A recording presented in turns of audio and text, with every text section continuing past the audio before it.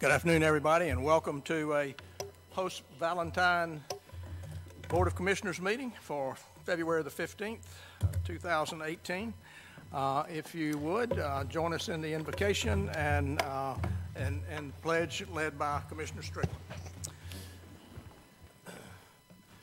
Father, we come to you tonight and thank you for your grace, your mercy, and your love for us. We thank you for bountiful blessings that you bestow us, upon us each and every day. Lord, we uh, thank you for those that protect us not only around the globe, but protect us in our very own community, our first responders, our EMT people, uh, firefighters. Lord, uh, protect them from, from harm and keep them out of harm's way.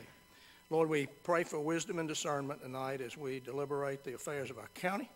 And uh, Lord, we would pray that everything we do would bring honor and glory to you. And it's in your name we pray. Amen. Amen. Please join me in the pledge.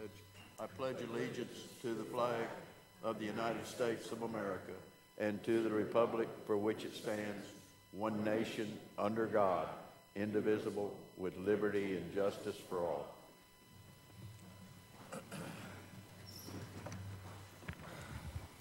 All right, thank you very much. Um, First item is public comment period, and our first speaker is uh, Mr. Julian Smith.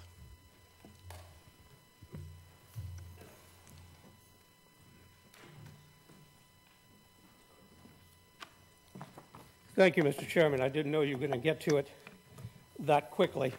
Let me pull out my uh, timing device. Uh, I'm Julian Smith, uh, known as Putty, and I plan to speak for no more than five minutes. So if I'm interrupted, I, I will have to turn off my timer and resume timing when the interruption ends.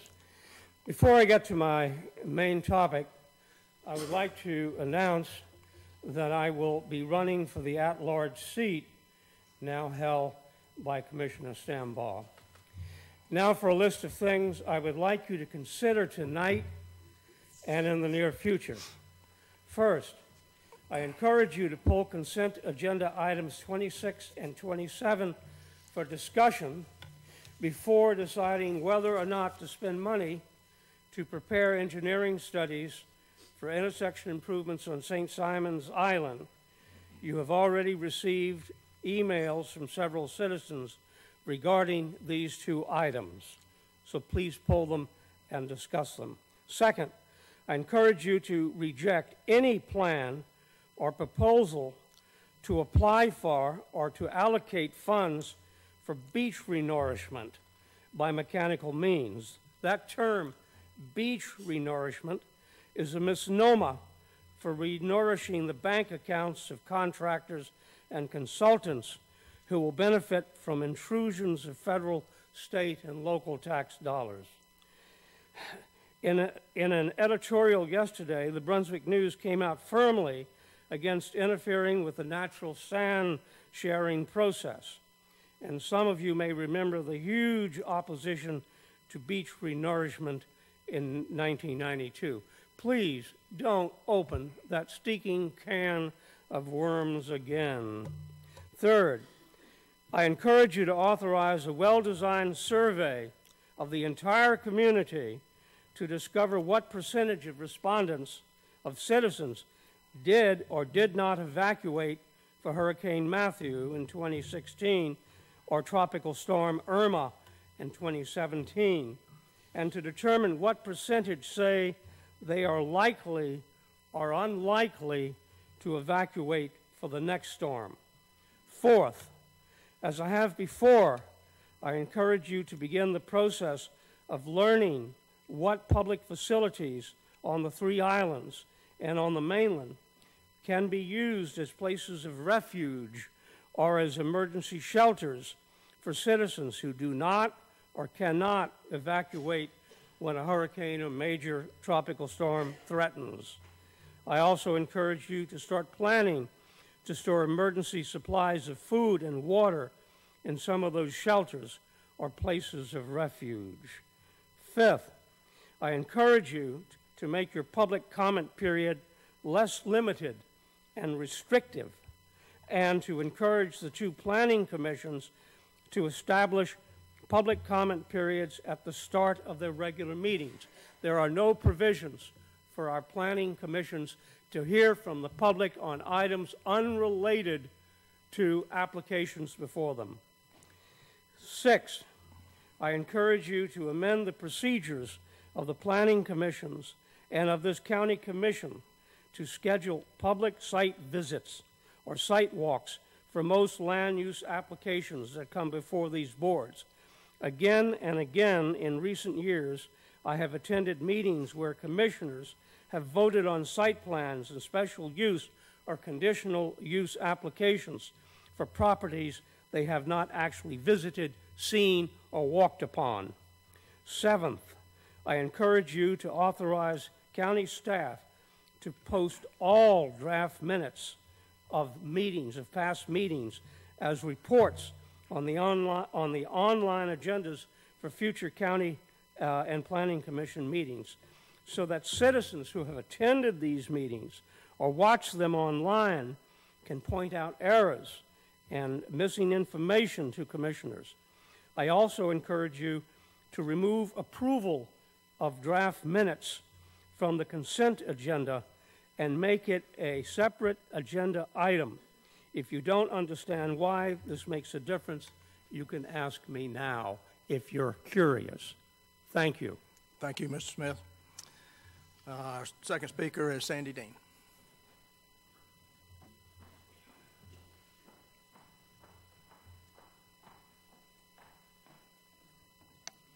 Sandy, state your name and address for the record, please. My name is Sandy Dean. I reside at 1127 Union Street.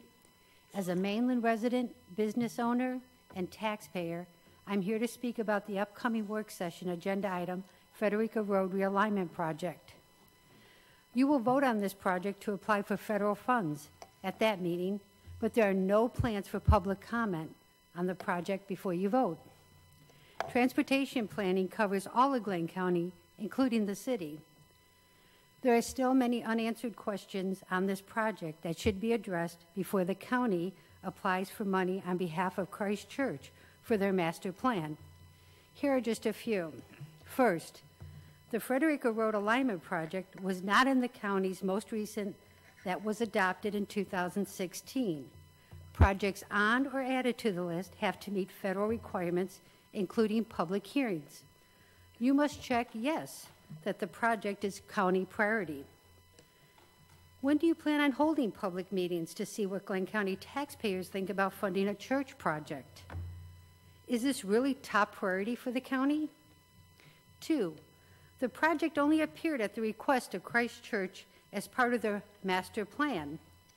If the county commissioner is considering suggestions for new transportation projects, then all taxpayers should be able to participate in an open process to identify our most urgent needs. Did I miss the public notice for new project ideas? What projects already on the list may be bumped or delayed to make room for this one? Three, at your special called meeting four weeks ago, most of you looked surprised to hear taxpayers were going to be asked to contribute a cash, mat, cash match of 115000 and serve as the applicant and construction manager for this one plus million dollar project. How much in cash and staff time will the county have to spend on this project? Where will that cash come from? Four, if Glynn County has this much extra staff time and funds to pay for a project that just happened to appear on their radar, then why are we hiring consultants to help out with the daily operations? Aren't there other projects throughout the county that have been on this list for some time? Five, Commissioner Murphy stated at his town hall that the point of the Frederica Road realignment project was drainage. And at your special called meeting, it was presented as a public safety issue. If drainage is the purpose, then I can name many other places in the county and city that are in desperate need of relief. College Park comes to mind. Our local delegation members have not been contacted about this project, but the grant draft that you received in January said they endorsed it. But as of today, they still have not been contacted. Seven, what about moving the utilities, gas, electric, and water? As of 4:30 this afternoon, the joint water sewer has not been notified. How can they know what this project will cost if they haven't done the obvious? You have a responsibility to know about the project before you commit my tax dollars. In short, your decision should be a transparent one that is based on actual data and county needs, not someone else's wish list that puts the taxpayers on the hook. Thank you. Speaker number three, uh, Caroline Carter.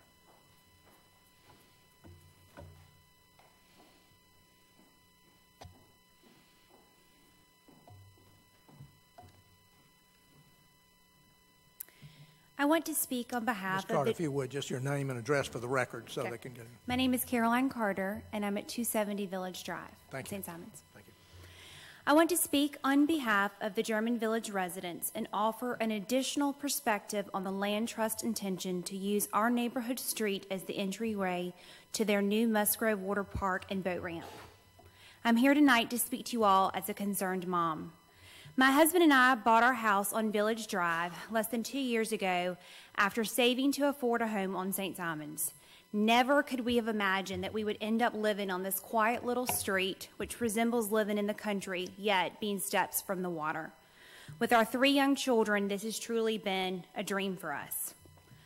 Not long after the land trust and the Musgrove deal was made public last year, I did quickly notice a change in our little street.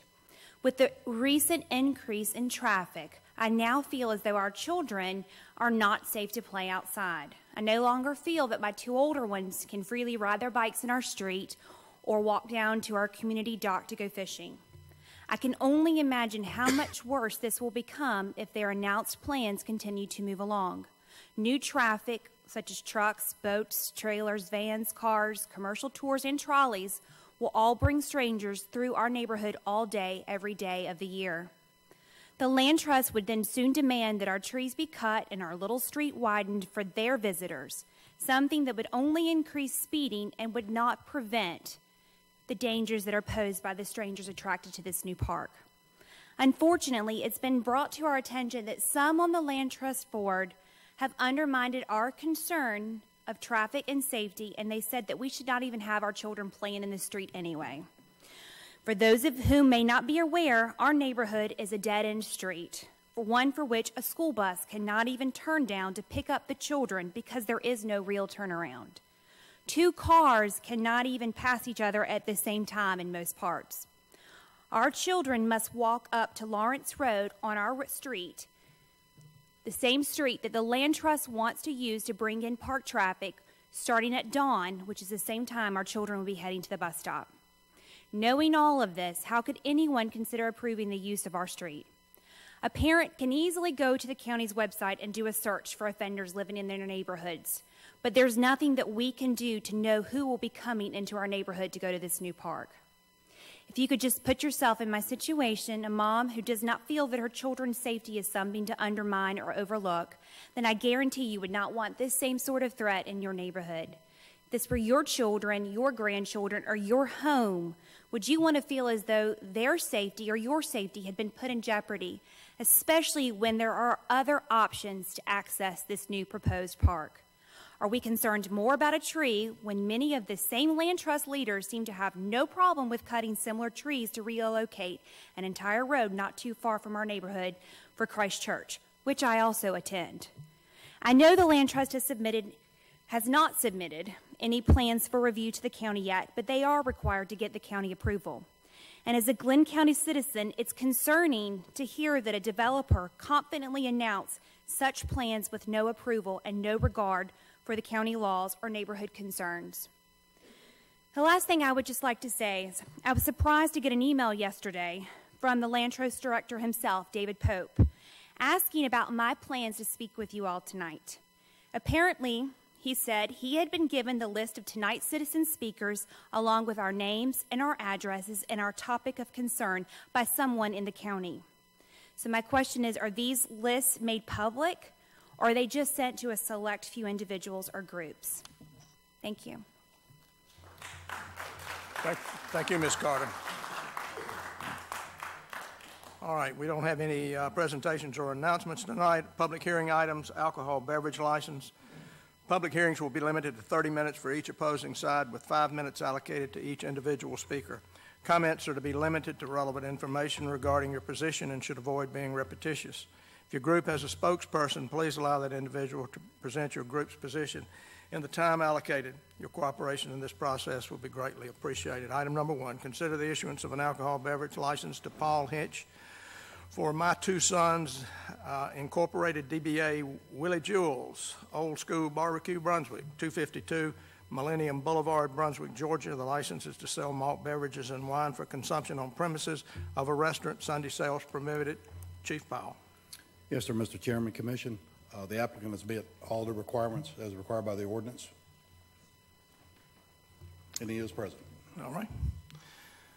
This is a public hearing item. Uh, Anyone wishing to come and speak in opposition to the application may do so at this time. Seeing none, anyone wishing to speak in favor of the application may do so at this time. Seeing none. Commissioners? Mr. Chairman, I just got one quick question. Are, are, you are moving into the old Huddle House? Is that- That's where it's going?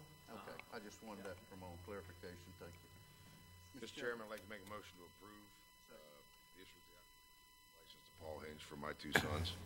Have a motion and a second. Any discussion?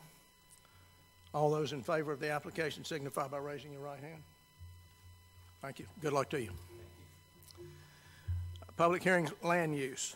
AB 3578, consider the application for abandonment of a portion of the unopened alley right-of-way on Block 23 in the East Beach subdivision, St. Simons Island. The property is behind 340 4323 13th Street uh, James Benefield, agent for Catherine Holt, applicant. Uh, Mr. Andrews.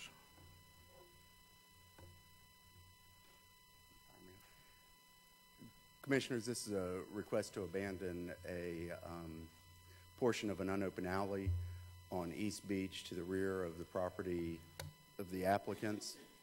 Um, When they get there, when we get the uh, presentation up, the location is between um, 12th and 13th Street. Uh, Currently, there is no public use of the alleyway. Uh, The owners of the property have recently built a new house. They tore down an old house and built a new one on it.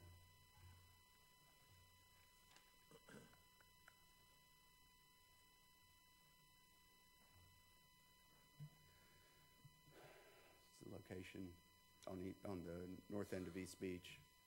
Specifically, it's a request to abandon the portion behind this property. Um, This is the plat that was prepared for the, for the abandonment request, showing just the one half of the alley.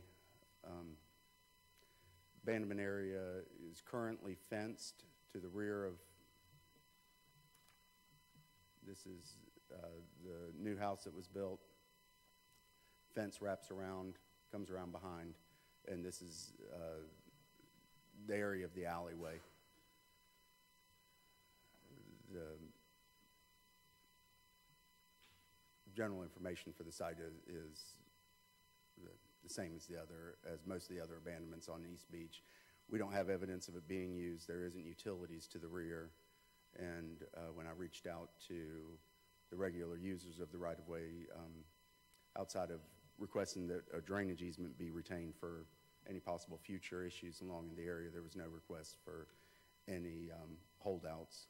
And as of this afternoon, there was no uh, public comments received in my office regarding this request. Okay. Questions for staff? Uh, Paul, did, oh. Okay. Did, did you say this was a, a closed-in alley or right away?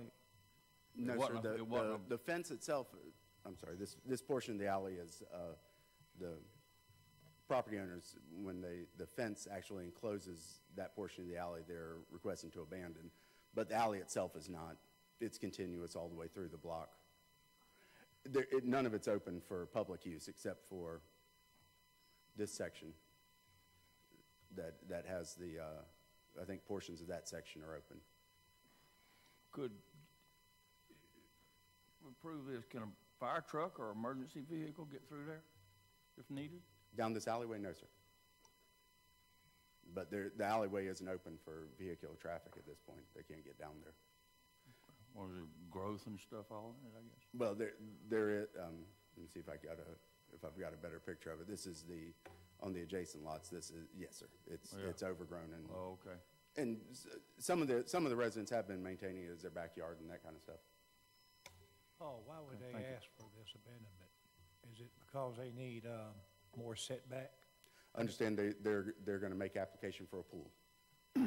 Okay, but the, uh, pool would be on the property, on their property, That's correct. um, but it's gonna be close to the alleyway, so they need setback is what they're looking for. Is that, As- As I understand, they'd like the extra area to, to have a, have the pool they, that they want in the back. But with the drainage easement in there, it's not gonna allow for mm-hmm. permanent structures yeah, n- within that nothing, drainage easement. nothing will be constructed in the alleyway if we abandon it, Nothing, nothing will be approved.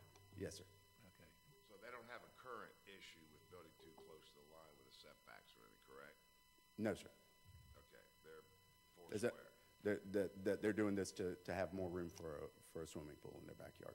Their new house didn't have issues with their building setbacks. None of the neighbors had any issues. I, I didn't hear of any. No, sir. Any other questions for staff? I don't see Mr. Benefield. Mr. Shoup, are you represent, you're not. Uh, Anyone here representing the applicant? Okay. This is a public hearing item. Um, Those wishing to uh, come forward and speak in opposition to the application may do so at this time.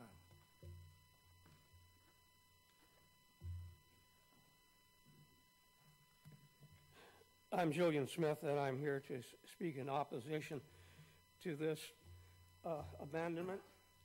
You've heard me on this kind of issue before. You'll hear me on it again. Uh, The subject line in the memo before you uh, says that this refers to a portion of an unopened alley. It is not unopened.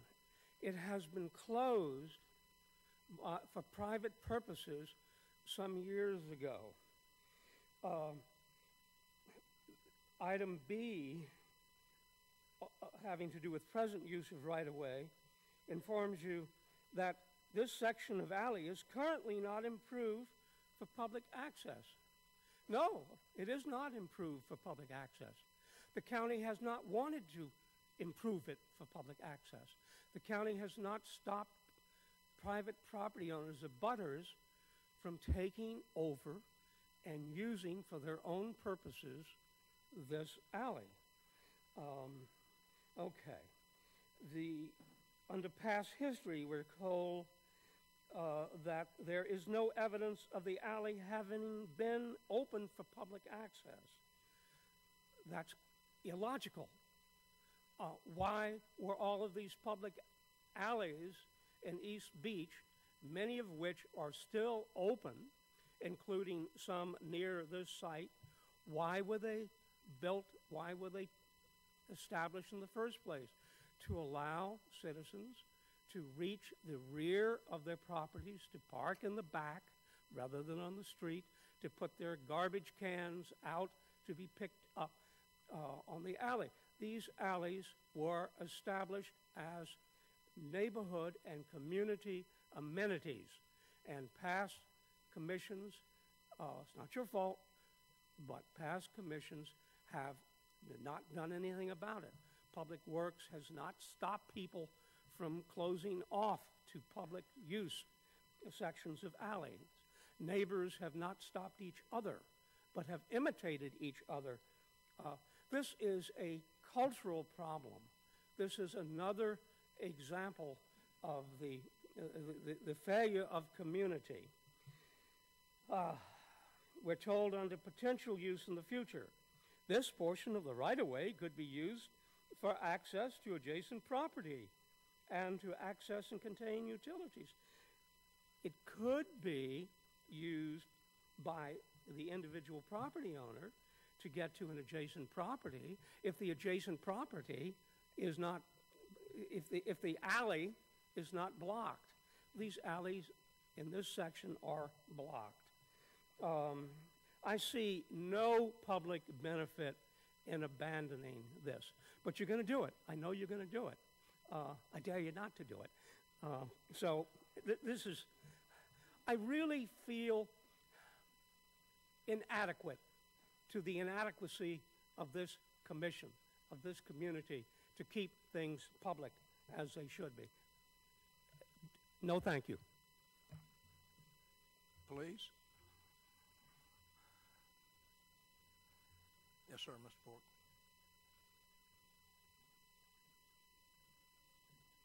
Apologize, I didn't do my homework on the, uh, Hugh Bork, resident of the island.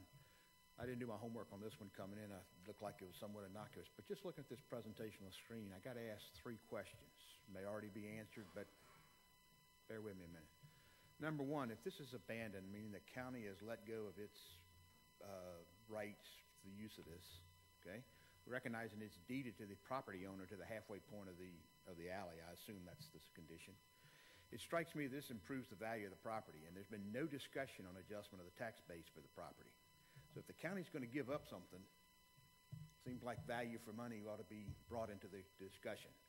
It struck me when we had a discussion similar to this two or three meetings ago, again on East Beach, but it was another alley abandonment adjacent to the property.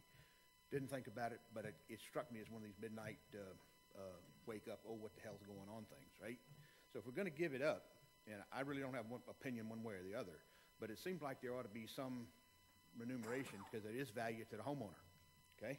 If the county is going to give up their rights to it. I understand the drainage easement, but, um, and they still have ownership of the property with the appropriate easements, but there is value going on here. Second issue that struck me, I heard in this presentation that we, um, that there was no known or no voiced opposition.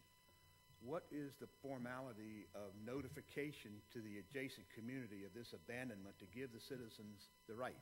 And I bring that question up in the context of a recent discussion we had at the IPC and, and brought forth here, where um, this is dealing with the um, Plantation Creek, that the residents in the area, because there were no other signage posted, there may have been some on the initial hearing, were not aware that there was additional hearings going on. So they were, they were not informed. Yeah, you can claim it's on the web page. Yeah, you can go look for it if you know what to look for and when to look for it. But did the residents get a fair shake at giving them an opportunity to come back? They may well be okay with it. But I bet you there's going to be some Me Too that come along with it, hence the first two questions I asked.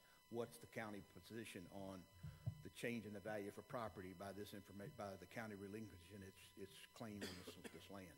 So I'd like to hear some discussion or answers on those, or at least be considered before you guys take a vote. Thank you. Thank you, Mr. Moore. Anyone else like to speak in opposition to the application?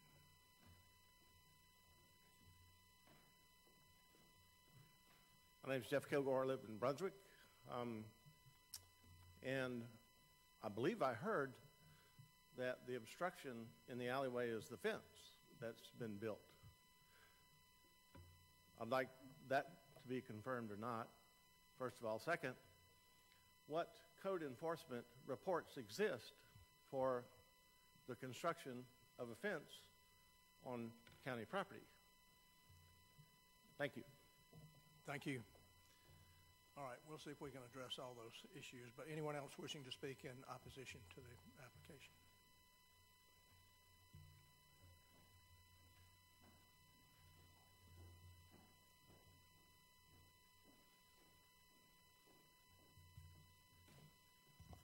Good evening, Lisa Norton. Um, when I looked at the plat a few slides previous to this, I was curious as to exactly how much footage we're going to allow uh, if this alleyway portion is given. And also, or has the cart been put before the horse? Do, do we have an actual construction of a fence here that may be in violation of code? Are we trying to get the record straight now after the fact? I'd also like to challenge our island commissioner, Dr. Murphy, to please check into various alleys and beach accesses and, and make that an agenda to ensure that the public and the residents of St. Simons are getting full use of our property on St. Simons. I believe there are some beach accesses that have been wrongly blocked from the public. And I think to restrict island movement, whether it's through fire trucks, emergency vehicles, or just foot traffic, trying to get to our public beaches and areas on the island, should be cautiously guarded in granting any such. But my first question is, has this fence been put up in violation of code? Thank you. Thank you. Anyone else wishing to speak in opposition to the abandonment? Seeing none, anyone like to speak in favor of the application? Seeing none. Um, Mr. Andrews, um, or uh, Ms. Thompson, you may uh, need to come up as well. All right, uh, there were some questions asked uh, regarding notification, um, and whichever one would like to address that.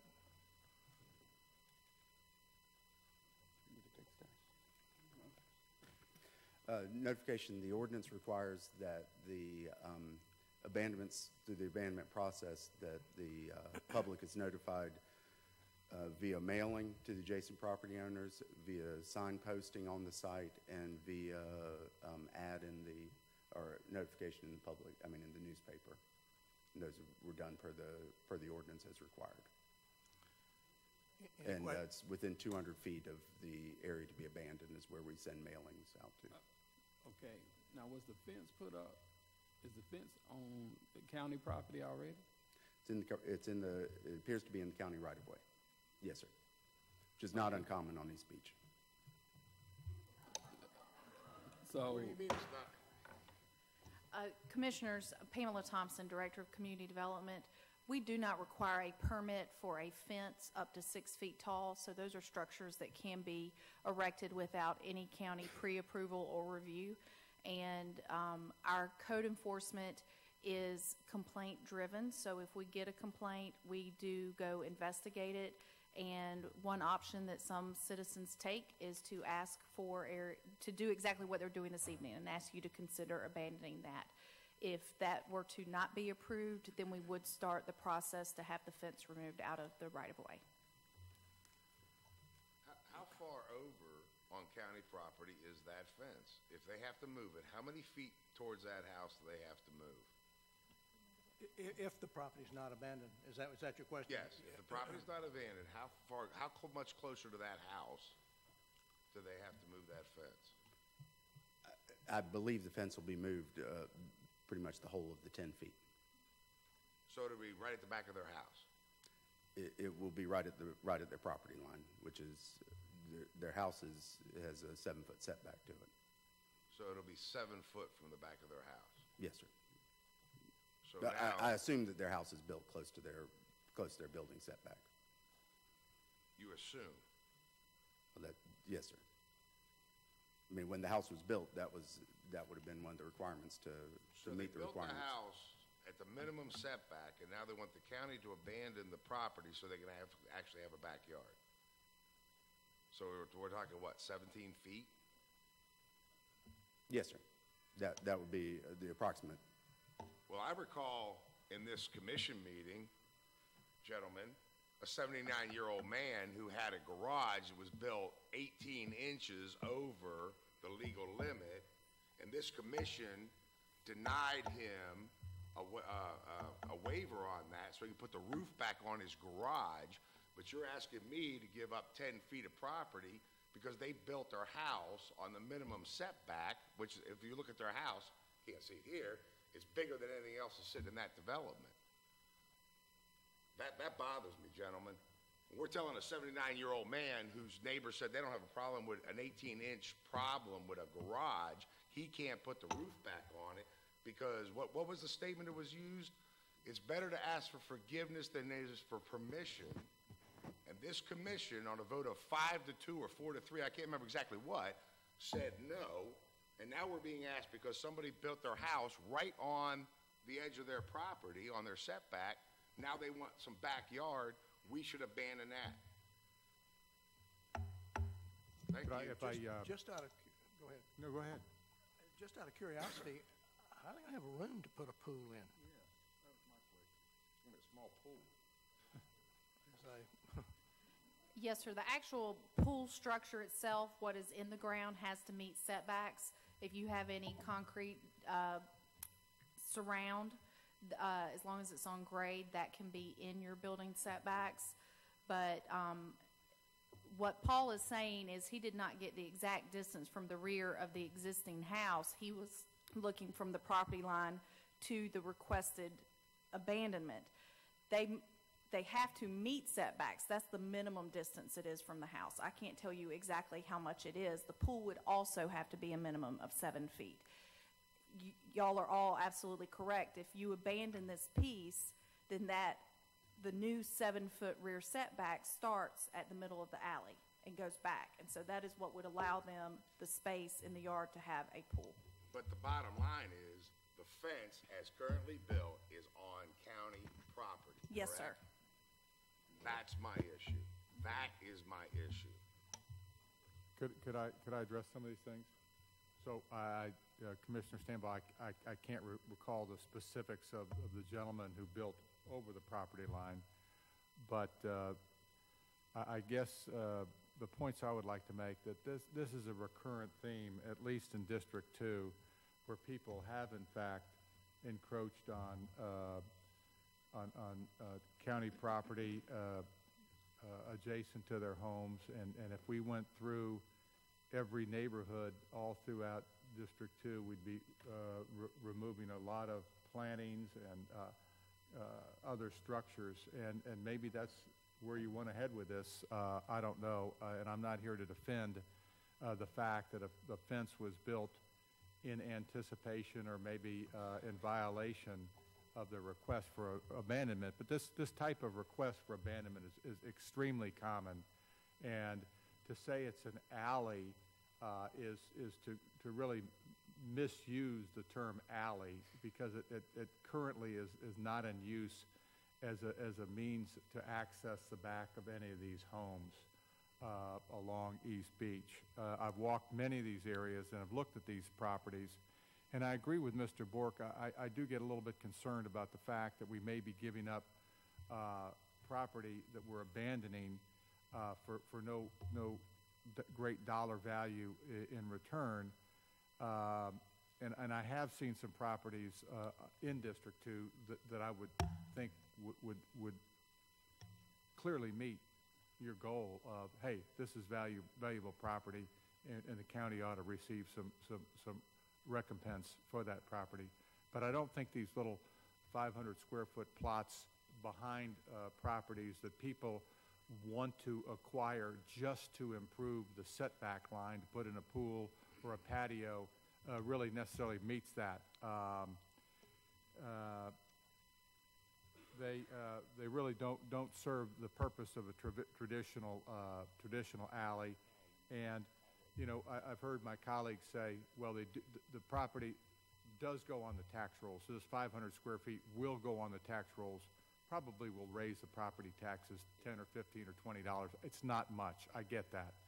Uh, and then to answer uh, Miss, Miss Norton's question, which was separate from the issue at hand about uh, beach accesses, um, I fully concur.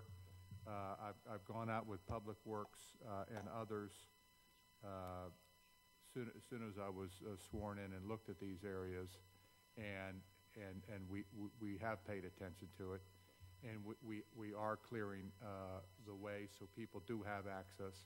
There are restrictions from the DNR, for instance, on what we can do, and some of these uh, areas of passageway between houses need to be cleared by hand as opposed by people just coming in with, with weed whackers and, uh, and, uh, and, and electric saws and, and gas-powered saws. So, so we are attentive to that, and uh, some people do put up no parking signs and, and no trespassing signs, and, and, and, and we're, we're, we try to uh, address those on a case-by-case basis. So at the end of the day, you know, I, I see no harm uh, in this quote-unquote abandonment. Uh, As I've walked these properties, uh, I think it's, it, it- it makes sense.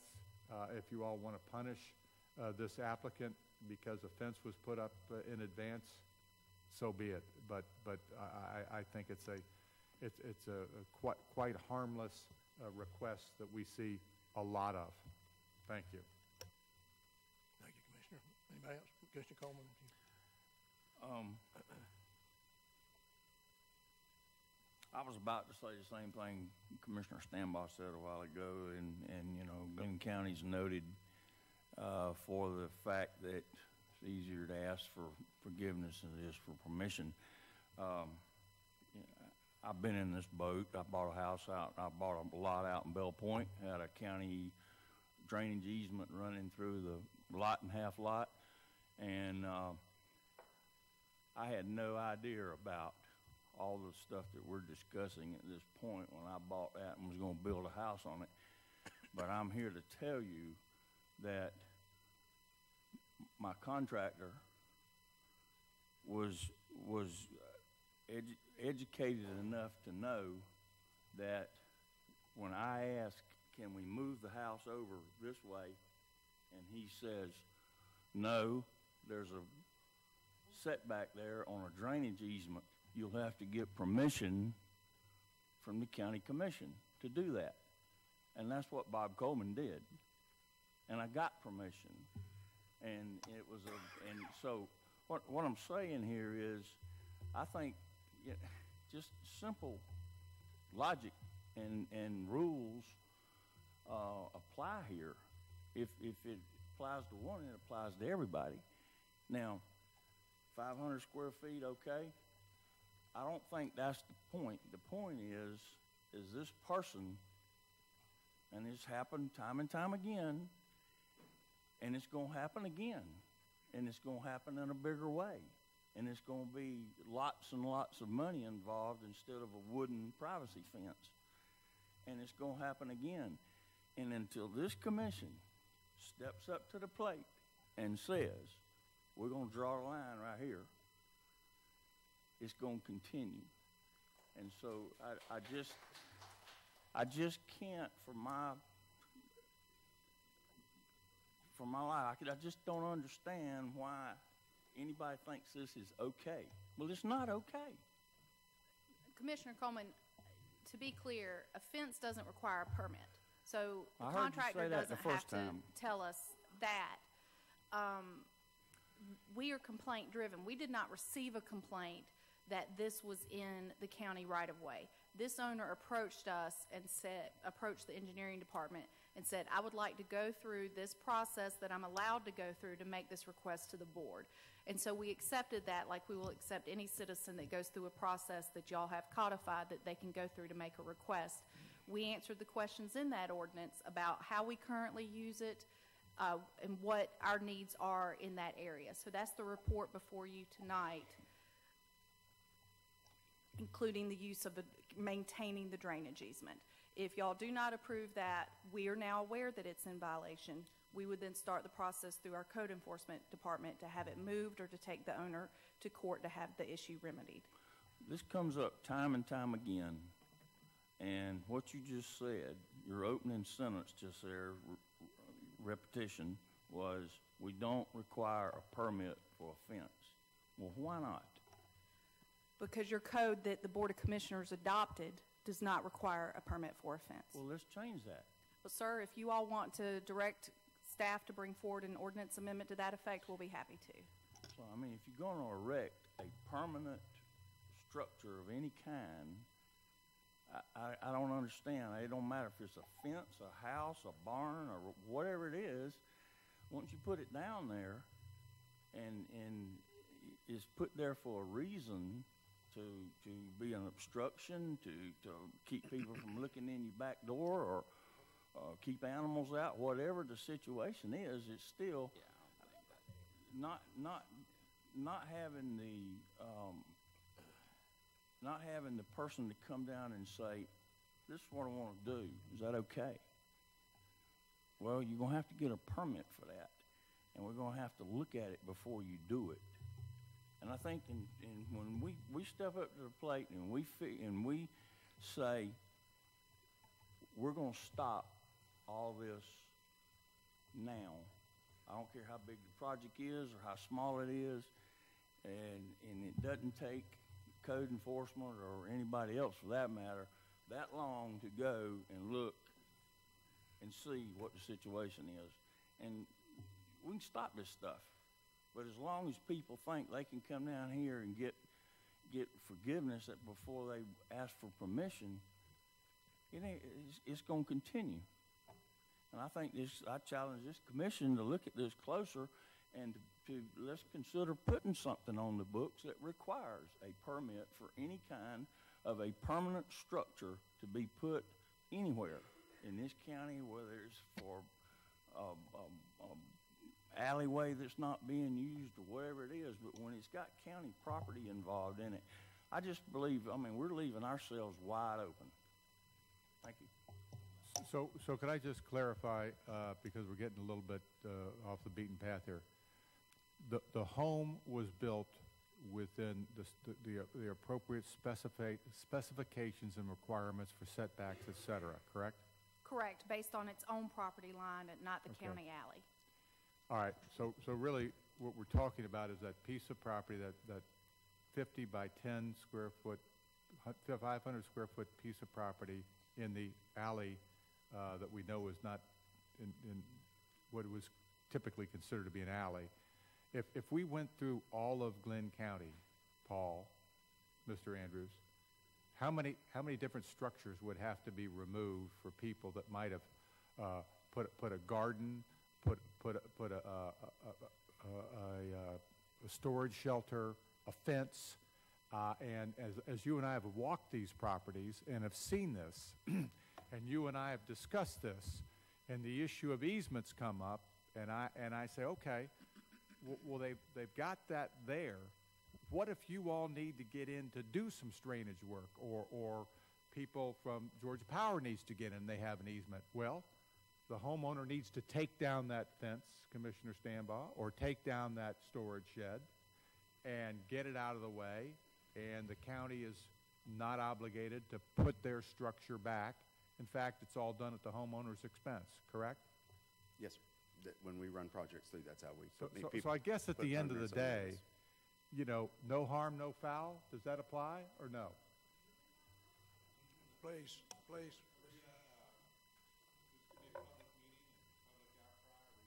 No, I'm, no, okay.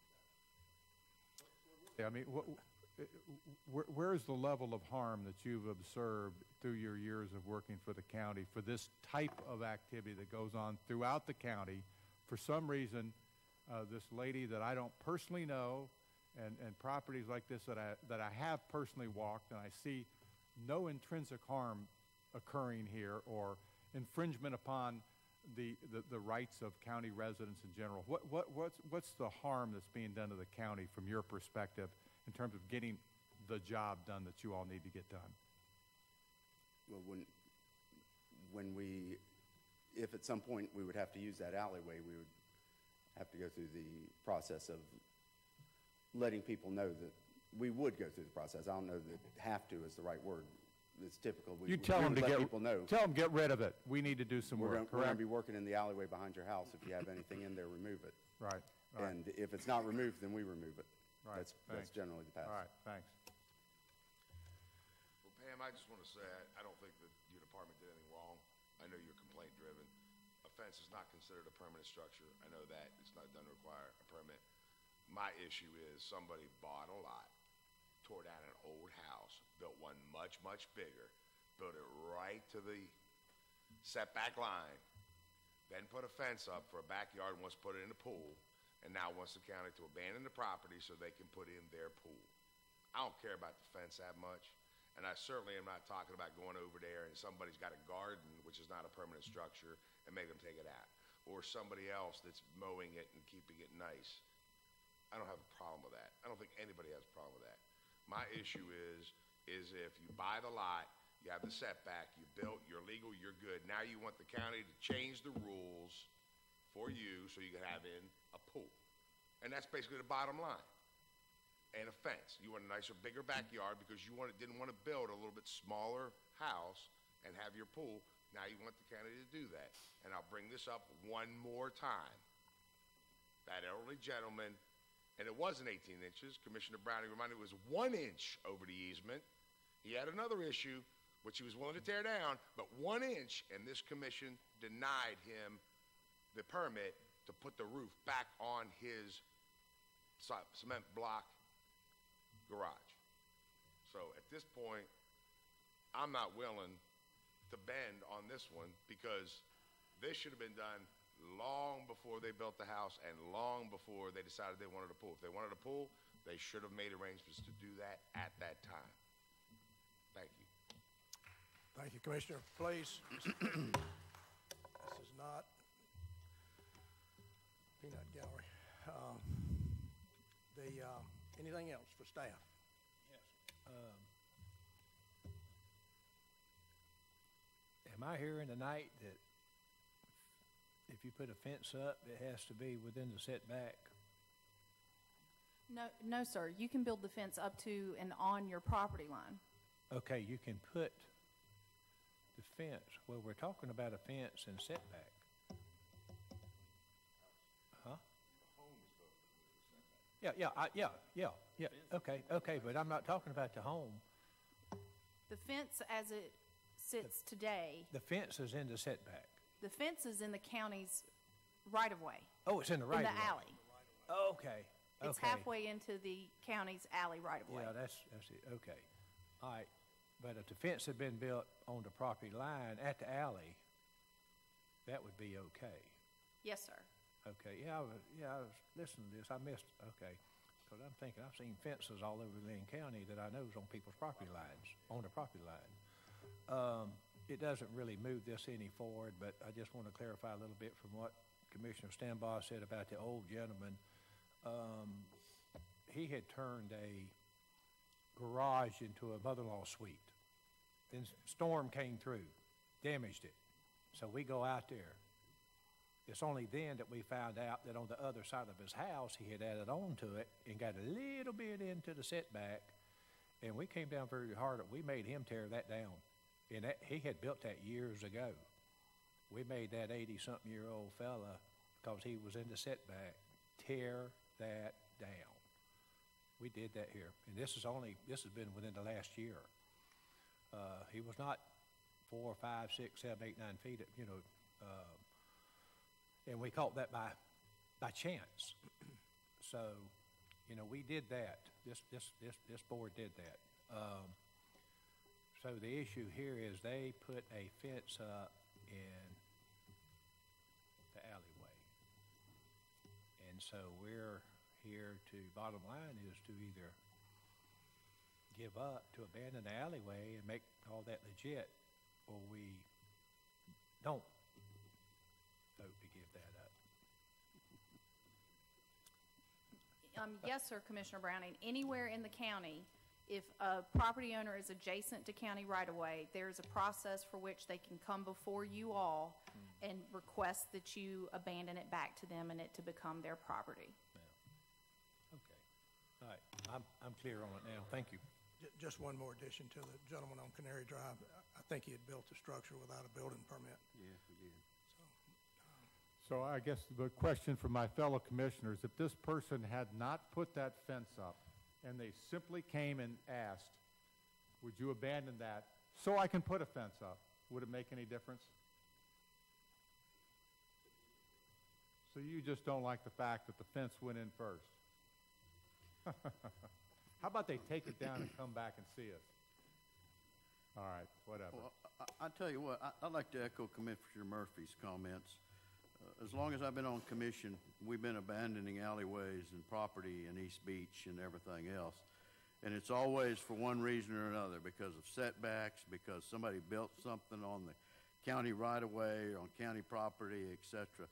And now, all of a sudden, based on the conversation of some of other commissioners, we want to start going in and, and have code enforcement right all over Glynn County and have people tear these structures down and move them or whatever because uh, they weren't put up the way they were supposed to be originally. So I just, I think it's ridiculous. Any other comments or discussion or? Well, let me just say this. because it does matter to me that this was done in advance on this particular case. Because I feel like they're, they decided to do this as a part of, um, the overall plan for this de- development. The other abandonments, I felt people were upfront, uh, and they just came to ask for it. So I didn't have a problem with it. And I wouldn't have had a problem with this had they done this in advance. But I just, there's something about this that's telling me that this, this is just not right, this particular one. And, um, I decided myself to look at these case by case. So I may get criticized for this vote. It won't be the first time. Uh, Mr. Chairman, um, Paul, if you can help me. I don't recall that we've ever approved an abandonment when someone had already built into an alleyway that they asked us to abandon. I do recall a number of times where we have abandoned an alleyway which would provide sufficient setback, okay, for something that was built within the setback but still on the property. And there's, you understand what I'm saying? There's been quite a few times where people have built on their property. This, see, this fence is not on the property. They got outside the property. They're not just too close setback. They got it completely out of the setback and off the property, is what I'm hearing. I don't recall that we've ever approved an abandonment so someone could build in the property or they had already built in the property and then we, by approving it, we make it right. Can, can I help with that? Yeah. Can I, can I help with that? Paul, you remember that case in Glen Haven that, that's taken about, started before I became sworn in, and, and some fella had a garage or a storage shed on county property, and, and, and the neighbors got involved, and you got involved, and I got involved. Somehow, a year later, we, we, we approved that abandonment. This, this is, trust me, if you want to come out and walk these properties, Commissioner Brown, I'd be happy to take you. There is all sorts of stuff on these quote-unquote abandoned pieces of, of ground. And, uh, I mean, to me, I, I, I understand that it seems offensive that somebody's put up a fence, but, but it's not the only thing that's been put up on county property and used for years. And had somebody not want to build a patio or, or, or uh, put an addition on their garage or, or build a swimming pool, they wouldn't even ask. And we'd never even know about it. But the fact of the matter is, if it's not impeding county business and impeding our engineers and our public works and, and, and Georgia Power to get their jobs done, you know, really, what difference does it make? Paul, Paul, help me out here. Within the last couple of years, didn't we abandon property in East Beach where some stairs or something had been built into the, into the setback or right-of-way or something like that? And we had to, Yes. We had, a- we had a abandonment where patio was, was installed and on, if it's the one we're thinking about is, is that they, um, there was a agreement to remove that and replace it with a pool, with the You know, abandonment because they were wanting to move forward with the pool. Well, well, I- I so- Yeah. I I believe so, yes. You know, and. Also, a new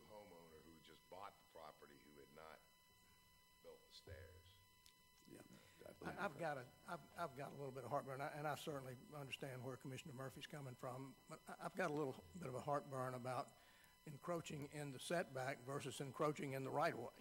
And uh, I recall, oh, I, help me, uh, JR, I think it was uh, the, the lady that had the gazebo. You're was talking about the young lady who on had the gazebo that was in Tennessee, county right-of-way, and And we made, made we her made her move that. I mean, it, it, it- I thought it was a safety issue, um, because the thing was too close.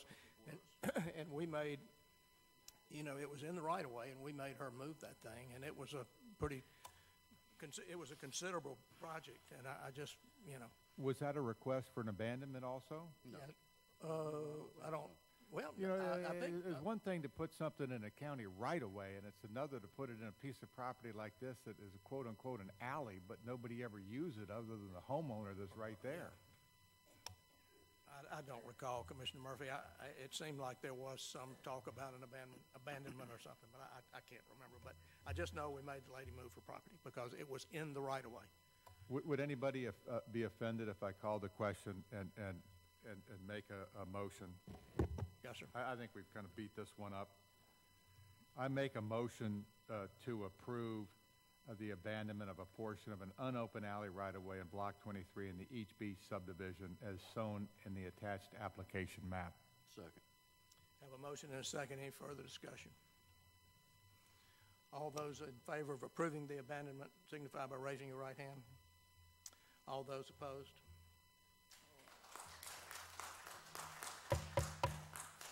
Please, please. Thank you, Just tell them to move the fence and then come back. All right. Uh, The the abandonment is denied. Okay, Mr. Chairman, I'd like to make a motion to approve all items on consent agenda, general business, and consent agenda finance, uh, with the exception of any items any commissioner so wishes to pull. Second.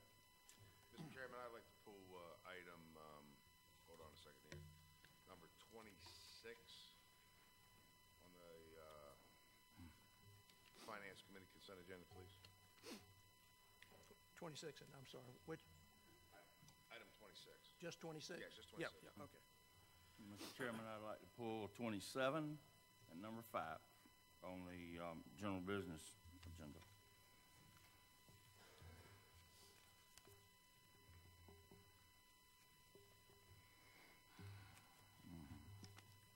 Okay. Um, All right, we have a motion and a second um, to approve consent agenda items with the exception of item number five, 26, and 27, I believe. Any further discussion? Motion and a second to approve those consent agenda items with the exception of those three. Okay. Okay? All those in favor signify by raising your right hand. That is unanimous. All right, FP 3648, lots 1 through 3, Block 3, Island Retreat subdivision, and a portion of Georgia Street. Approve a final plat to create three lot sub, uh, to create a three-lot subdivision. The property is zoned village residential, and the tract of land is to be subdivided. It's 23,083 square feet in size. Property is located at 350 Ocean Boulevard, St. Simons Island, parcel ID 04-04910, Palmetto Building Group, owner and applicant. Ms. Thompson. Good evening, Pamela Thompson, Director of Community Development. Uh, This is a item for you to consider approval of this final plat to create three, a three-lot subdivision. This preliminary plat did receive approval from the Islands Planning Commission at their regular meeting in February, on February 21st, 2017.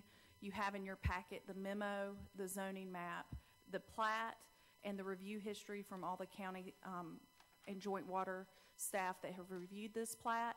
Uh, Staff does recommend approval of this final plat, and Surveyor Bobby Shoup is here as agent for the applicant, if you have any questions.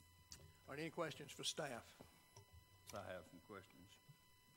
Uh, Ms. Thompson, do you, do you have the, the plats that you can put up there? No, sir, I do not. Okay, um, you have, uh, preliminary plat and you have a final plat, Yes, sir. okay? And forgive me, I, I don't have my laptop with me tonight. So, anyway, um, and when you look at this, you're, when you look at the preliminary plat, you see, um, what appears to be bodies of water, lagoons or something along those lines. And when you look at the final plat, uh, it doesn't appear that those are still there, that they've been covered up, filled in, uh, flattened over, whatever. And, and if you look at it, I mean, the way they're gonna put three houses on this piece of property, you know, it appears that, that, you know, one of these, one of these buildings or one of these houses is gonna be sitting pretty much right on top of what used to be a water hole. And, you know, my, my question, um, if indeed this is what I'm seeing, uh, is this, has all this stuff been checked out, or who, who approved the, the filling in of the, of the lagoons, or, or whatever you wanna call them? Uh, the low spots that were full of water at one time, and then, uh, apparently they were filled in, and now, uh, you're asking us to approve something here to, to build, uh, housing on top of something of that nature. I mean, is, is, what, what process do they go through here? And, and, you know, correct me if I'm wrong, if the plats, the preliminary plat and the final plat, in my mind, don't match. Uh, Commissioner Coleman, thank you for the question, and Bobby Shoup, I believe, has a full-size copy of the plat with him this evening. There was discussion before the Islands Planning Commission of uh, concerns about some wet areas, and there were no designated wetlands in that area. So um, I, I think that question was raised. It was answered to the Islands Planning Commission's satisfaction that there are no designated wetlands on these parcels. So if you like, Mr. Shoup is here and can show you the plat uh, or answer any other questions you may have for him about that. Sure, I mean, that's, that's any- the question, and, you know, uh, like I said, what I'm asking here is, is what appeared to be a, a, a low spot full of water at one point is not there anymore. There may be low spots on any property. There's nothing designated that cannot be graded to be constructed on. There were no lagoons on the property. Uh-huh. Okay, well, I mean, if, if, if he'd like to step up, I mean, I'd, I'd like to hear the, the Any other commissioners have any questions for Ms. Thompson while she's at the podium? Nah, do you know what the vote was from the IPC on this? It's not on the report. I apologize. I do know we had one commissioner abstain. Um, I can look that up and tell you that while, while you're asking Mr. Shoup any questions. Okay. Yes, sir.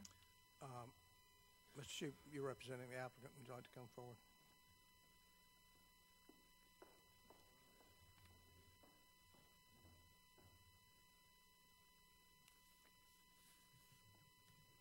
Mr. Chairman, Commissioners, for the record, my name is Bobby Shoup. I'm the surveyor in charge here. Um, The questions about lagoons, maybe I address that first. Um, They were shown on the preliminary plat. They're also shown on the final plat. I have a full-size copy here, if you'd like me to give it to you. Um, do- Do you want? What, what I'm saying is, I mean, if they're, they're shown, but when you, I guess the question is, if, just because they're shown, I mean, have they been, uh, are, are you building around these spots? Or, I mean, have they been filled in, or have been, uh, you know, what's, what's the deal? I mean, when you, we all know Glynn Excuse me, I- County's, I can't Glynn hear County's and got water very close to the surface. Could we have order, please? I I apologize. I couldn't understand what you were saying. There was We all, we all know. Glynn County's got water very close to the surface in, in uh, more places than we'd like to admit. But Mm-hmm. when you have uh, preliminary plats that's showing standing water, and, and is that, is that what we're looking at here, or, or? No, sir, the preliminary plat did not show any water on these lots. Uh-huh. They showed them adjacent to the property, both in a private owner of uh, a detention pond for the Grove subdivision that's to the north of it. And then there's a ditch that comes up in the county right-of-way called Ocean uh, Avenue. And those both still exist exactly the same way they were before. Um, They have not changed, and there is no plans to change those. One's on private property, the other's on county property. So these people have no right to change or alter those whatsoever. So what you're saying is, is in, in your opinion, uh, or your professional opinion, uh, there's no, uh, once these, these dwellings are built, uh, there's no, uh, chance that there would be any interference from, you know, um, sub, subsurface water or, or sinking and, and something of this nature. Um, I just know, you know, when, when you, a lot of people build close to the marsh. I built close to the marsh and I, I know. Yes, sir. Uh, sixty loads of dirt and, and, and reinforced footers and steel rebar and extra concrete and all that kind of stuff had to go in to support the house and, and for no other reason other than I was so many feet from the marsh and you got a soft, soft ground and, and you can go down to my yard anywhere in, in any square foot of it in three feet you hitting water. Uh, and, and it's like that all over Glynn County. So anyway, that, that's what I was getting at. And, and you know, I just, uh, just want to make sure we had, we had those bases covered with, with the foundation and all of this stuff. So to answer your question directly about the subsurface water and the stability of the land, I am not a professional in that business, so I really can't assert to that. Uh, but I completely agree with you. I'm in the process of building a house as well. I hired a geotechnical engineer. These people should be doing the same things. It will tell them whether there's surge loads or pilings or whatever needs to go on. But those, whenever those plans are developed, then they go back through the county and they're vetted to ensure that they're not violating any setbacks, that everything's, that they're going to construct on these lots, not on the adjoining property or not out in the road, meet all the county regulations. Thank you. Ms. Thompson, you want?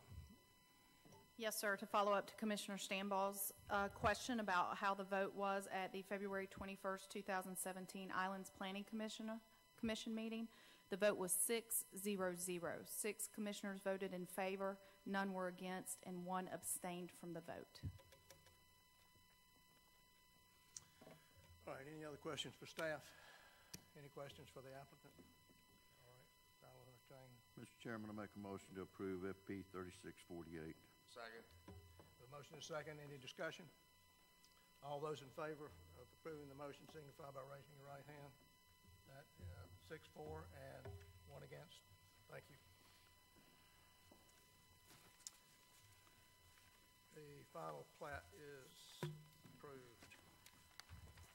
Item number twenty-six, award a contract for engineering services for the East Beach Causeway Traffic Improvement Project, which includes roundabouts at both ends of East Beach Causeway to EMC Engineering Services, Inc., Savannah, Georgia, in the amount of $163,000 with funding to be provided by SPLOST 2016. Uh, Mr. Austin. Uh, Good uh, evening, Chairman, Commissioners. Uh, We're here uh, continuing with the uh, improvements, SPLOST improvements to the traffic situation at, on St. Simons Island. And you may remember at a work session, the board approved the two roundabouts at either end of East Beach Causeway. And so here we have selected a design firm to uh, design those two roundabouts. Uh, There were four firms that uh, bid. Uh, This particular firm had the highest total score, had the second highest technical score, and had the lowest cost. We had a uh, technical review committee of three of our engineers on staff, and uh, they came up with a scoring, and they recommended this firm.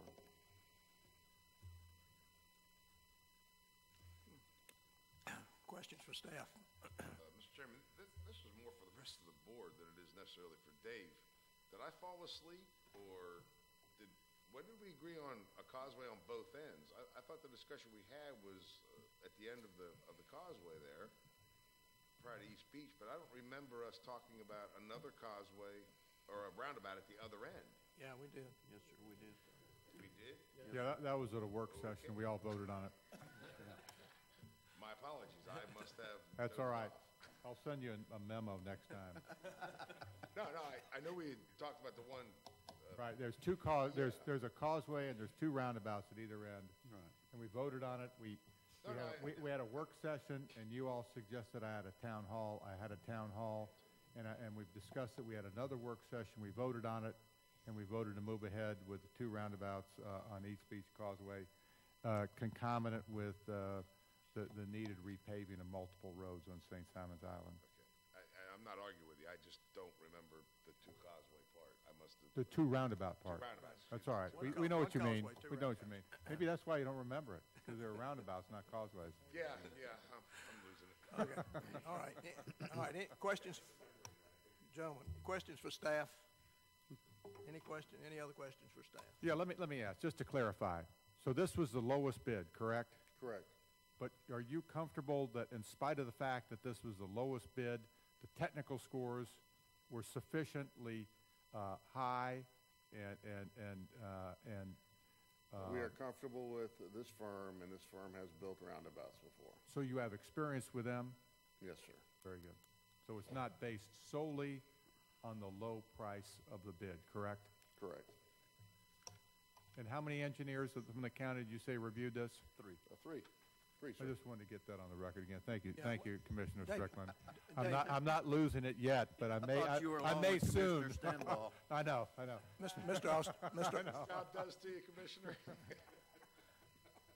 Mr. Au- Mr. Austin, would you read the- each criteria that you, So, uh, we, the, the, uh, the criteria that we evaluate on is, uh, personal experience, project approach and understanding, uh, the company subcontractors, that's the total score, uh, that's the total technical score. Those are what the three engineers look at.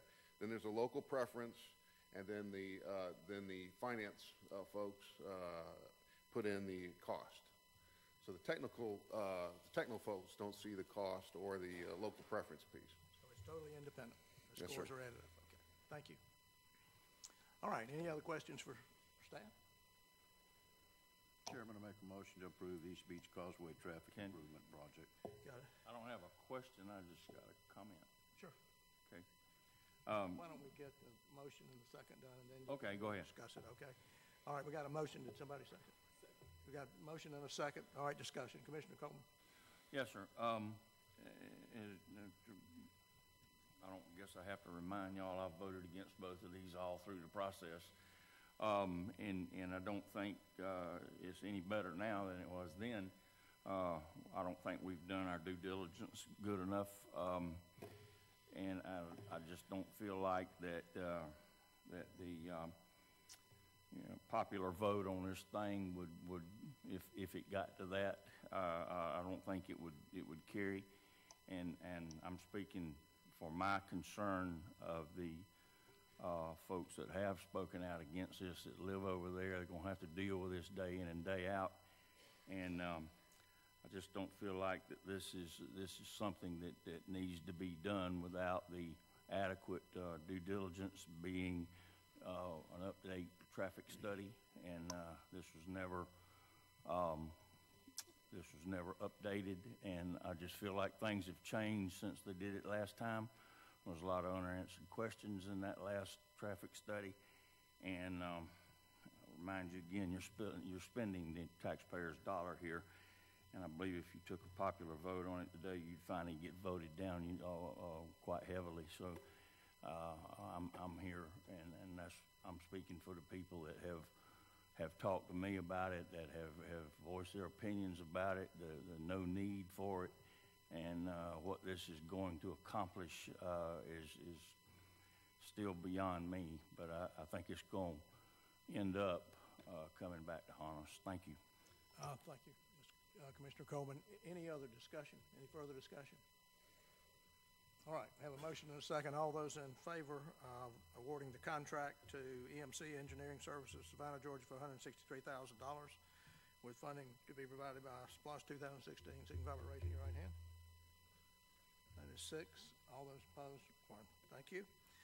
Item 27, award a contract for engineering services for the Kingsway Frederica Traffic Improvement Project to Southeastern Engineering, Inc., Marietta, Georgia, in the amount of $84,900 with funding to be provided by SPLOST 2016.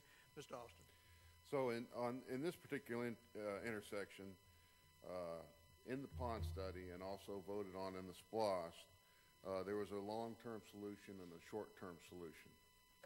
And so uh, in the RFP, uh, we uh, uh, asked the firm to design both the long-term and the short-term solution for this intersection, and we will bring those back to the board in a work session and they will brief you on those two uh, situations. So this particular intersection, uh, there is a, we will do two concept designs. One concept design for better signalization and, and, and, and some lanes, some extended lanes, and the other concept will be for a roundabout. And so they will bring that back to you, work session. You guys will tell us what uh, you want to do, and then we will go to full design on it. This particular uh, firm, we had uh, four firms uh, submit bids. We had three firms that were close, and we had one firm that was, uh, that was, uh, had a very high bid. Of the uh, three firms that were uh, at the low end of the spectrum, we selected or recommend you select uh, the South En- East Engineering, who has the highest score of the uh, lowest bids.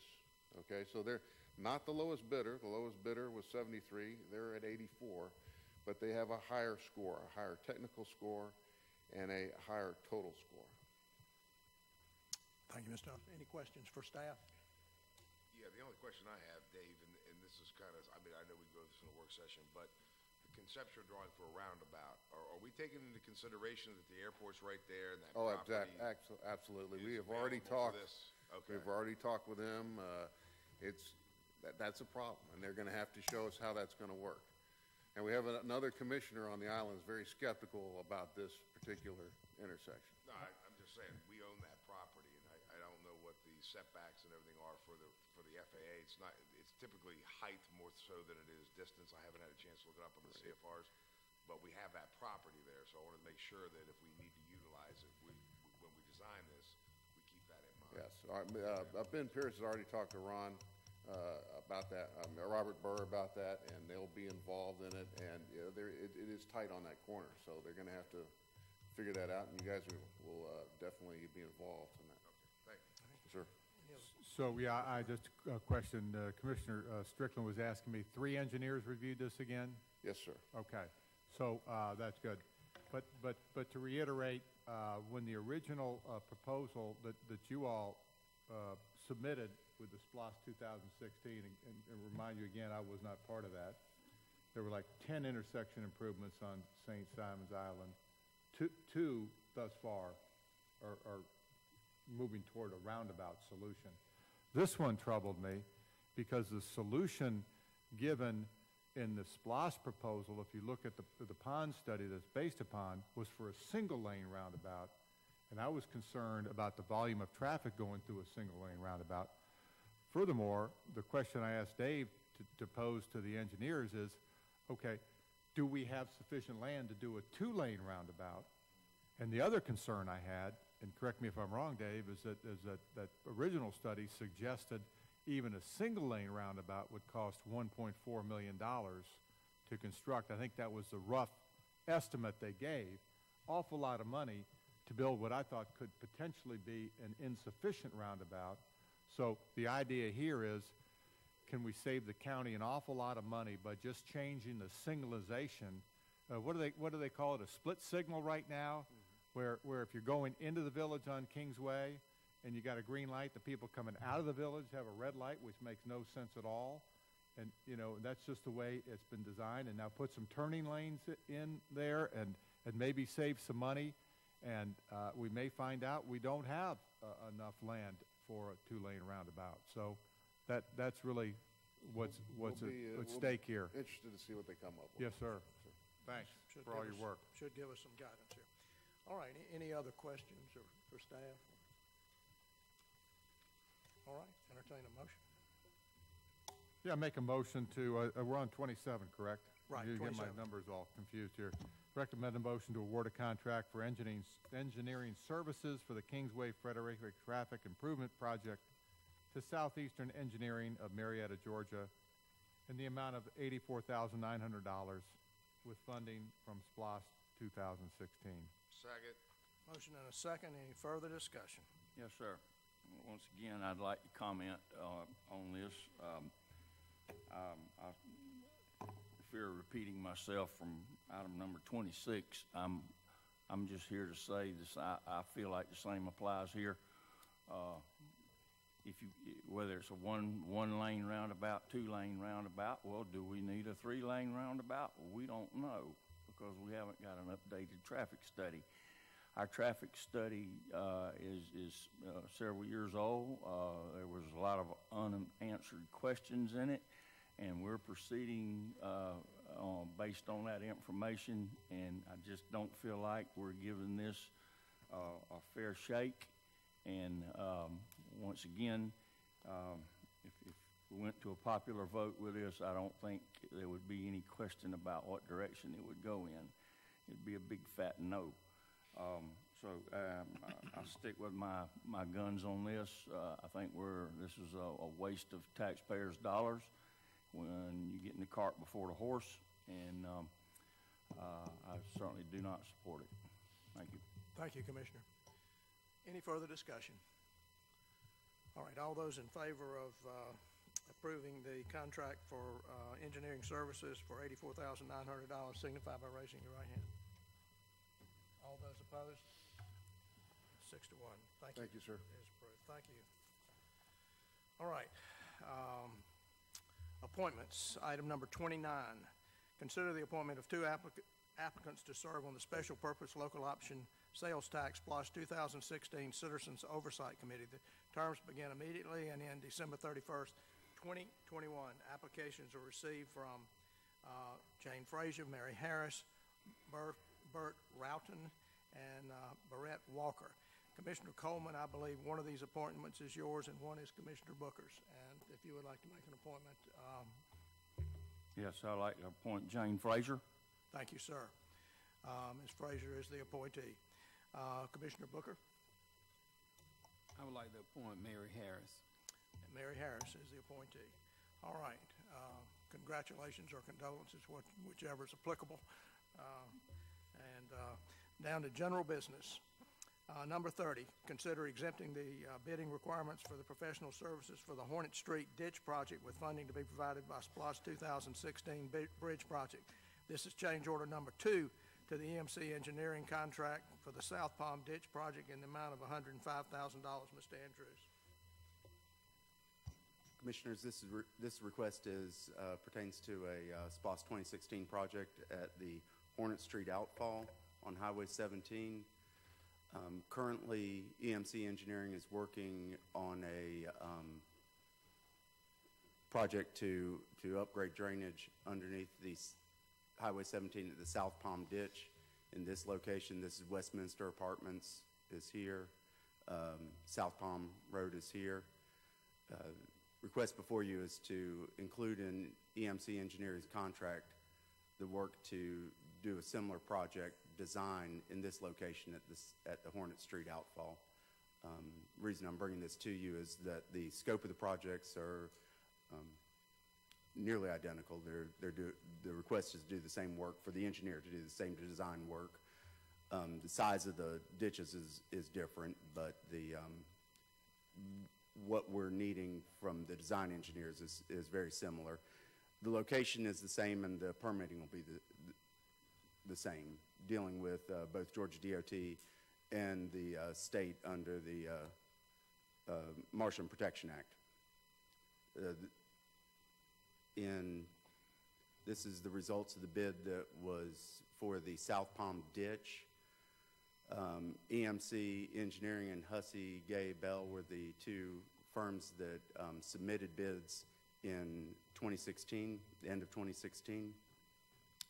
Um, um, the technical stores were uh, very similar. Um, EMC Engineering had a, uh, a substantially lower price for the, uh, for the work. Um, Their, their overall score was therefore uh, substantially higher than Hussey Gay Bell's. But the um, EMC was awarded that contract, and this is a request to have them do the similar work in the Hornet Street location. So are you telling us that EMC will do both ditches for two hundred and five thousand dollars total under the original first ditch contract with a hundred and five thousand dollar increase, which Hussey Gay Bell did two twenty-seven on just the one ditch? Is that correct? That is correct. Well, they, they're, they'd be actually 200, yes, sir. They, they'd be a little bit over. I think we've got a change order currently in the process for EMC because we had to expand the scope of their current ditch project, so the, but it's another $5,000 to do some title work that wasn't anticipated. Well, how many change That- orders you have? Th- That would be the, the first change order. Yeah, that's five grand, then another hundred five for a total of two hundred five thousand. Oh, I'm sorry, uh, I'm sorry, An- another change order is coming forward. We're, we found that the county doesn't have as much title in the area as we, as we had thought, so we're gonna have to do some title work. That's why EMC up their bid was to include the, the work that, make it more reflective of the work they're, they're seeing on this project. Uh, Paul? Yes, sir. Um,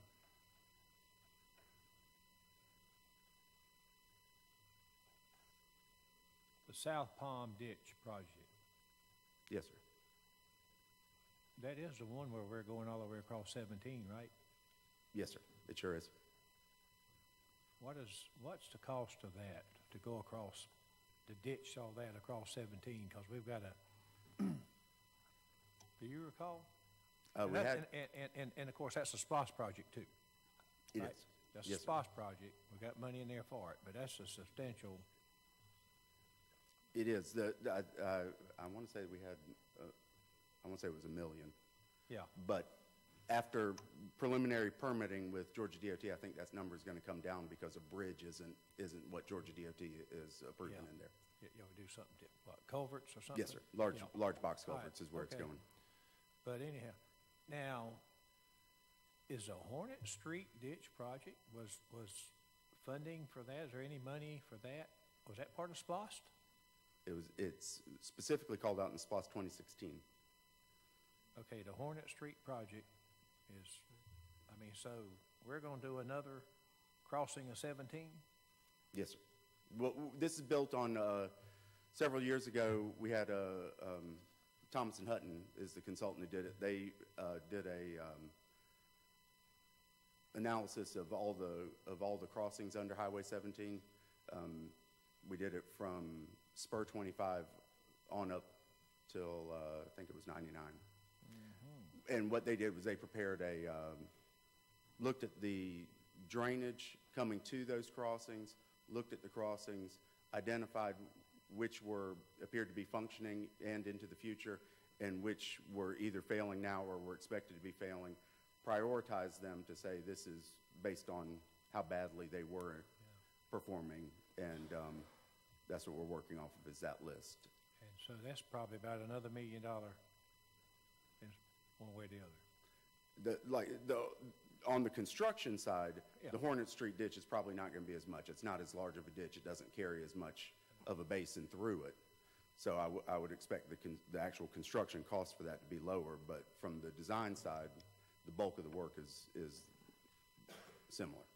I just couldn't remember all the different projects we had identified on, eh, eh, I'm kinda like Commissioner Stambaugh here, you know, for, I forgot something. But, uh, understand.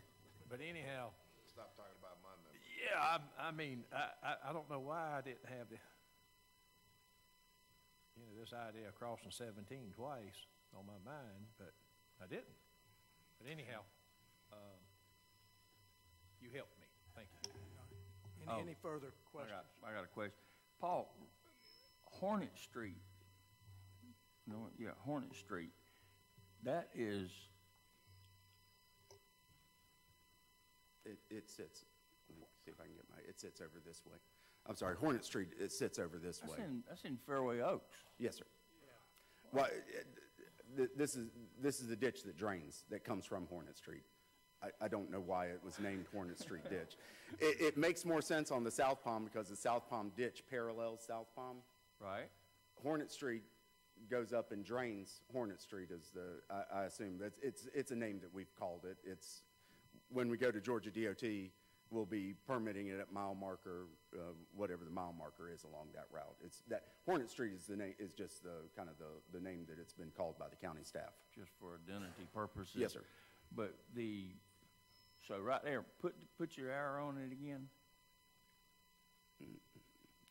Yes, sir. Okay, so that, that's where Commissioner Browning was talking about, we're going to, where's, where's the actual, what's already, what's there now? Uh, I believe it's a, uh, two round pipes is what's there. But it, but it goes, It go- it, it goes under the highway now. Yes, sir. It's The- just, the- all that's just gonna be redone with box culverts and all that. I- just can't quite picture where that's coming out at. It, it, it runs in between, um, right, right before you get to the country club on the left there. If you're Yes. going north on seventeen, well, you can see the, I think that's the country club there. it, that is. But And it- this it- is the, um, That's Fairway Oak, I mean, that's, um, Club, um, Country Club Park. That's correct. And if you go in there and Is take a left, this road- road actually dead ends into the ditch. And this is the, uh, I, I cannot remember the name of the, uh, of the uh, mobile home park that sits there, but that Okay. backs up to the other All right. side. I know where, I know where you, but the, but the, right now, I mean, there's just not that much visible. No, sir, there's not. Okay, it's not as visible as the ditch that runs parallel with, with South Palm. You're correct. It goes It- under it- the road there and runs by that guy's house out to the marsh. That, that's correct. It's, not- it's not nearly as visible. You have to slow down and kind of look up This- the ditch This line. one's a little bit north of that. That's correct. Yes, sir. Ok- Right, okay. Yeah, there's, am I not mistaken, there's several pipes that go under 17 that I don't think a lot of people know about. uh, That just hadn't been updated in a long, long time. Yes, sir. They're- we they're- catch all that water in Bell Point. That you- that you they're taking that to you, Bob. Well, All that water. The good thing is, is that. these are downstream from your second entrance, from your southern entrance. This is Bell Point. Right. The northern entrance, the southern entrance. This is uh, what's called on the maps as Hog Crawl Creek winds up through here. So this is actually dropping out south of the area that impacts Bell Point. Yeah, I don't think me and Commissioner Brunson were thinking about building on the east side of, or living on the east side of seventeen there. All the water and, just about all the water in Glynn County comes right at our door, uh, trying to get to that marsh. But okay, I see what, we're just gonna open up. Yes, sir. Make it bigger and more water. Planning for the future. And dealing with the current. Okay, thank you. All right, any other questions for staff? Yeah, can you get a price on how much it would cost to pipe all this to Bob's house? We, we need some pumps down there now. Maybe it'll help, Bob, maybe it'll help. Um, all right, any other questions for staff? All right, Mr. Chairman, I'd like to make a motion to uh, exempt the bidding requirements for the professional service of Hornet Street Ditch Project, the fund to be provided by SPLOST 2016 Bridge Project, change order number two. got a motion and a second, any further discussion?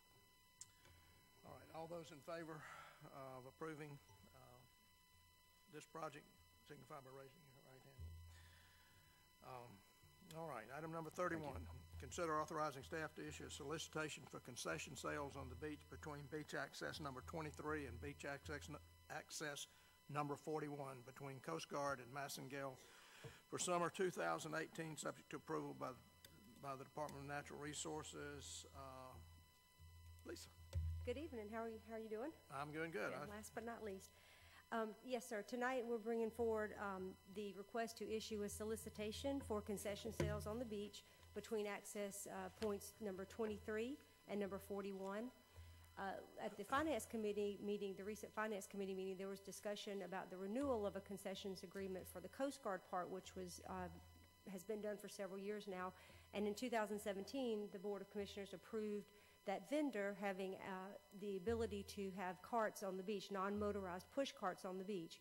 As a result of the success of that last year, at the Finance Committee meeting, there was discussion asking staff to explore the possibility of expanding that uh, service this year by possibly um, allowing the opportunity for other vendors to, to bid on that.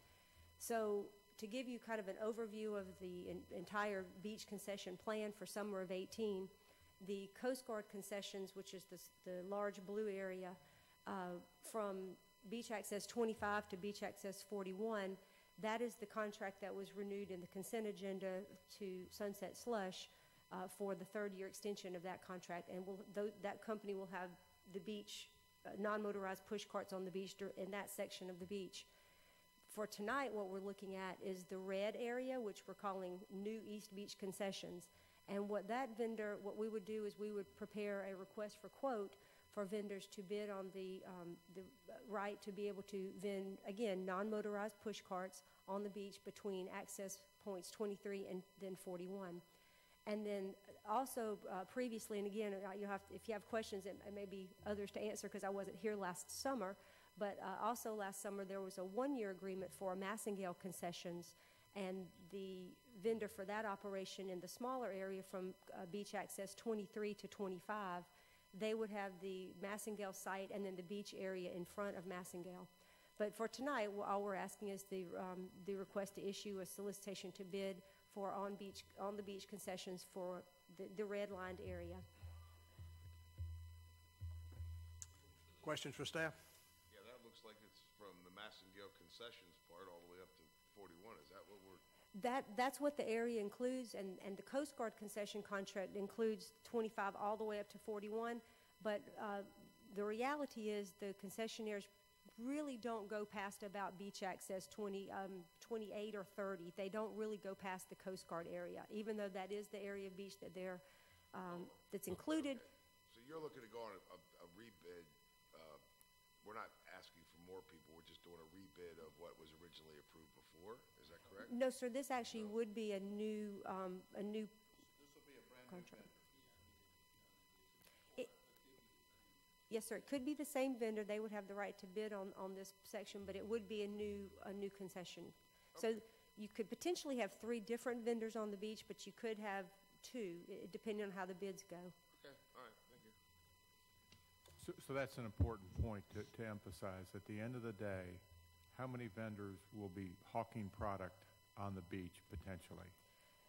In the red area, you would have the most two, because you'd have somebody from one red line to the other red line. And then in the, in the middle, you would have one from, in Massengale and one in Coast Guard. So at any one area, there'd only be two, but you could have the same person, you know, doing it, so you could end up with, with less than that. But the point, point I'm trying to make is we're not at this point anticipating, you know, a multiplicity of vendors cluttering our beach with the potential trash problems. That's correct. And, and by all accounts from last uh, summer, the group that was on the beach last summer was extremely, um, was extremely helpful in keeping the beach clean and, and made a, a strong point to, to do their part and then some to keep the beach clean. And we anticipate and would hold those folks accountable to do the same this summer. And, and you're exactly right. They did a spectacular job taking care of policing the area from, from the product they sell, they sold. Thanks. Thank you. Any other questions for staff? All right. Entertain a motion. Motion to approve? Got Second? Second. motion and second. Any further discussion? All those in favor of the motion signify by raising your right hand. Thank you. That's that. Uh, we have executive session, so if I could get a motion to go into. Motion to go into executive session Commissioners, that's for pending litigation. for pending litigation. Got a motion and second for pending litigation. All those in favor signify by raising your right hand. Thank you. Here we go.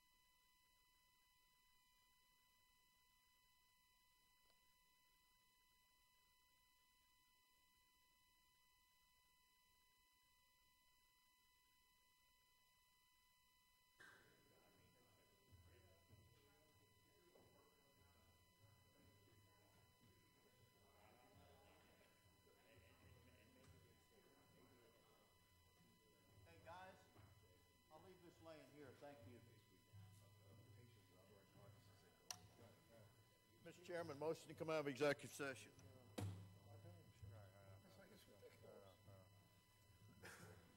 We have a motion to come out of executive session. We got everybody here? Yeah, if we don't, stuff. Can I get a second from somebody? Motion is second. Any discussion? All those in favor of coming out of executive session? That is unanimous. Thank you. Mr. All right. Chairman, I'd like to make a motion to accept the recommendation of the county attorney in uh, reference to pending litigation. Second. Motion is second. Discussion? All those in favor? Motion to adjourn? Motion.